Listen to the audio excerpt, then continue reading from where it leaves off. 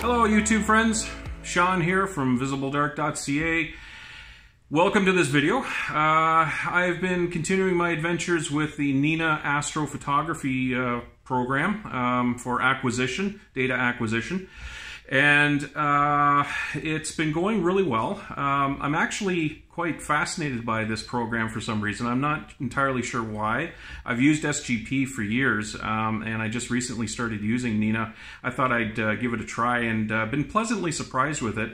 The developer is really working hard. Um, they're updating it regularly, almost nightly. Uh, there's a, a, an update for it, and I've been uh, following along with those updates. So um, it's actually a very robust program, and it's uh, completely free as well. So uh, you can download it, install it, and start using it. Uh, it doesn't cost you anything, which is uh, pretty cool. Um, I was having some difficulties, and uh, I know that viewers reached out and left me some comments about and giving me some tips and stuff, and I tried those, and and a lot of them worked uh, great. Uh, thank you very much for taking the time to input and uh, give me those tips. Appreciate that. Um, I was also uh, having trouble with the autofocus. Um, I was getting, I wasn't getting a V curve. I was getting more of like a stairway going down, and uh, the the the focus was still okay, but I was puzzled by why I wasn't getting a V curve. So I had a viewer that actually left me a little tip, and I uh, looked into it and made a change in the settings for Nina, and um, it actually helped. I got a V curve uh, with my autofocus. Uh, so that was fantastic, and I was kind of thrilled with that. I thought I'd show you uh, where that change is and what it is, and uh, hopefully this helps someone else if they're using Nina and uh, having difficulty with the autofocus like I was. So let's go over to the computer and we'll have a quick look. Okay, this is uh, Nina operating and doing the autofocus.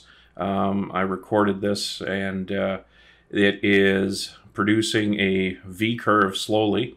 Um, these are the trend lines right here, uh, which would intersect down here, uh, which is approximately where uh, proper focus uh, should be according to the graph so far.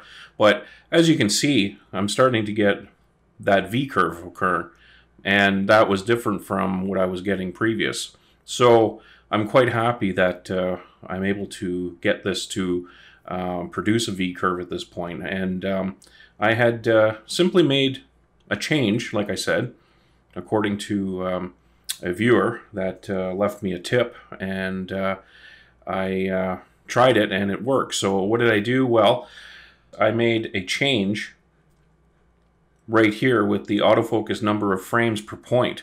Um, so basically, instead of taking a single exposure um, for per, per point of autofocus, um, the uh, Nina is now taking uh, two exposures per point, and that will then be averaged out for the uh, the HFR, and uh, increasing that to two in the autofocus number of frames per point, increasing it to two, fixed the problem I was having with the autofocus and now produced a V-curve for me. And this is the autofocus after it's completed. Uh, the stars are focused, and as you can see, I've got very nice uh, sharp focus uh, thanks to Nina's uh, autofocus routine. It uh, has worked out really well. I've been really impressed with it. It's fabulous. Um, if you haven't tried Nina yet, give it a try. But uh, if you're having any difficulties with the autofocus, try uh, increasing the uh, the exposures per uh, point, and um, that may uh, indeed help you. Okay, so thanks very much for watching, everyone. Appreciate it a lot. If you enjoyed this video or any other videos I have and would like to subscribe, please feel free to do so. I will see you in the next video, and clear skies to everyone. Take care.